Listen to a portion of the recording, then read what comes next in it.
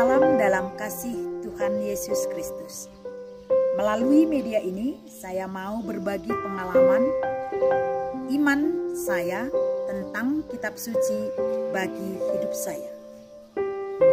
Dalam kehidupan sehari-hari, saya menjadikan kitab suci sebagai pegangan dalam hidup, terutama ketika mengalami suatu peristiwa yang sangat berat dalam kehidupan saya.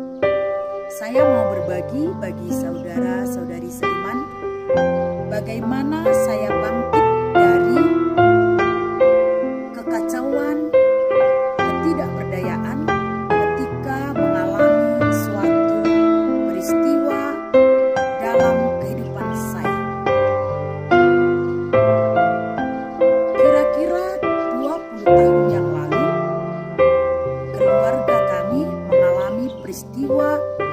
sangat membuat hidup kami begitu terpukul dan merasa tidak dihargai oleh orang-orang di sekeliling kami. Pada saat itu, saudara laki-laki saya mengalami suatu peristiwa. Dia ditusuk oleh seorang sahabatnya sendiri ketika mereka sedang mengadakan sebuah perjalanan untuk mencari sesuap nasi. Ketika peristiwa itu terjadi, abang saya atau saudara saya sempat dirawat selama 10 hari di rumah sakit.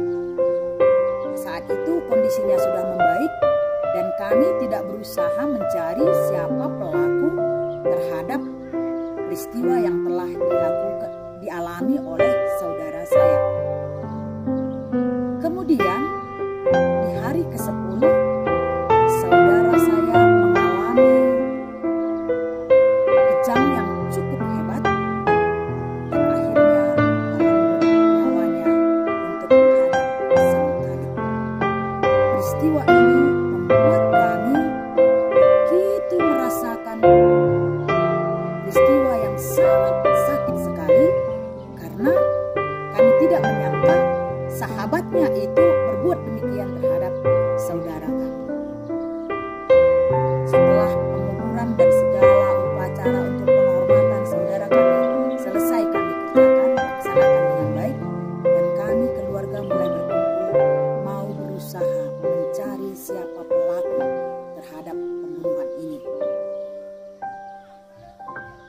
Setelah dicari dan dana yang kami keluarkan untuk pencarian ini sangat besar, karena kami sangat menyimpan dendam yang dalam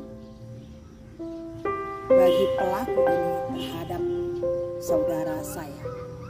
Saya dan keluarga besar saya itu senantiasa berusaha mencari siapa yang telah melakukan ini. Saudara-saudari yang terkasih, waktu pencarian itu cukup panjang, lebih kurang dua tahun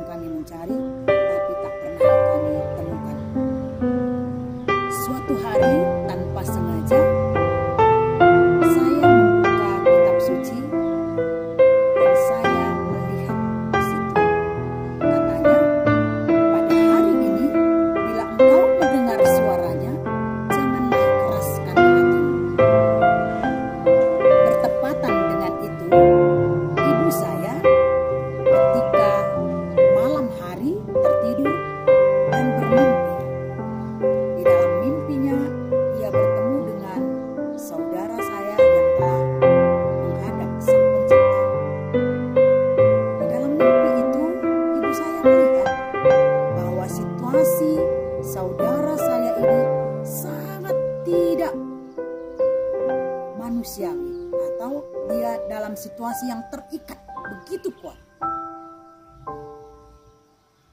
Dia belum menuju sampai ke surga menurut perkiraan ibu saya.